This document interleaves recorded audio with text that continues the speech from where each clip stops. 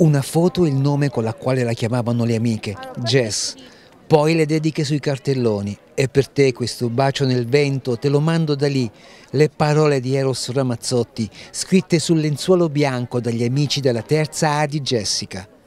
Un ragazzo ha un manifestino dedicato anche a Massimo parte dall'istituto frequentato dalla sedicenne Jessica Malai la fiaccolata a Torre Maggiore nel Foggiano. Per lei è Massimo De Santis, commerciante, uccisi nella notte tra il 6 e il 7 maggio scorsi dalla furia omicidio di Taulant Malai, padre di Jessica. È dedicato a Massimo che conoscevi?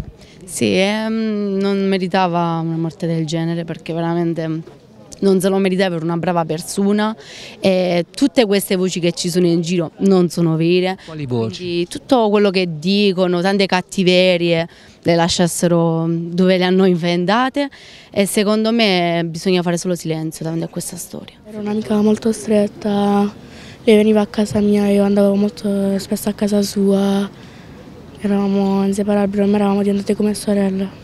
Ti dice il nome Jess che ti viene in mente per la prima cosa? Eh, mi ricordo molto la sua risata.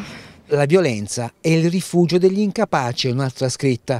Studenti, insegnanti e amministratori applaudono davanti al Jolly Bar gestito da Massimo. Niente slogan, solo il rispetto del silenzio. Un silenzio di rispetto, un silenzio doveroso per questa manifestazione. La fiaccolata attraversa il centro sino alla pineta i lumini vengono riposti a terra, uno per volta, poi la preghiera, il flash mob silenzioso e due palloncini con la fiamma accesa che volano via, forse fino a Jessica.